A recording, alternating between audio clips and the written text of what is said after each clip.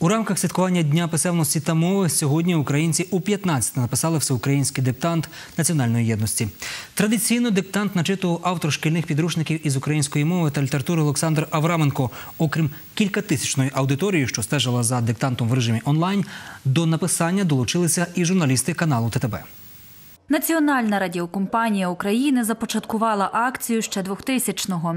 Відтоді щороку слухачі можуть взяти участь у написанні та з'ясувати, наскільки добре знають мову. Текст авторський, ексклюзивний, створений відповідно до всіх приписів і норм правопису.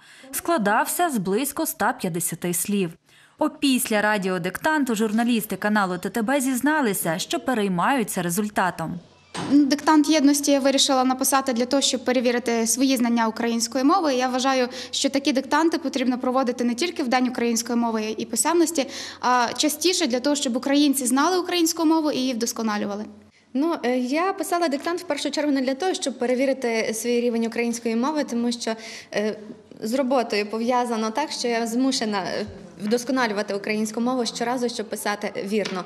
Е, Я вважаю, що це перш за все акція, яка допомагає відчути себе ще більш українцем, е, відчути, що ти єдиний зі всіма знавцями української мови, з кожною людиною, яка сьогодні в селі, чи в місті, в школі, чи просто вдома сіла і пише цей диктант. Ми єдині у нашій любові до рідної мови. Творити величне просто, якщо творити його разом, переконана директор каналу Лариса Михальська. Як сказав хтось великий, що немає мови, немає нації. Дуже добре, що в такий день, хоча б згадають і віддадуть належне українській мові на всіх рівнях і на всіх каналах. Я знаю, що сьогодні навіть на центральних каналах згадували про цей день, писали диктанти.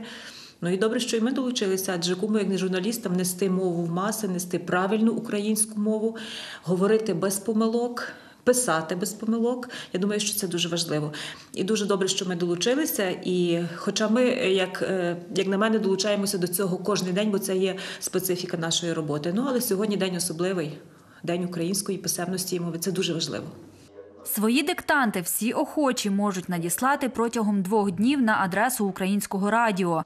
Вже за місяць організатори обіцяють оголосити результати. Ті, хто напише без помилок, будуть відзначені призами. Втім, головне в цій акції не подарунки, а можливість перевірити себе та продемонструвати солідарність з усіма, хто любить і шанує рідне слово.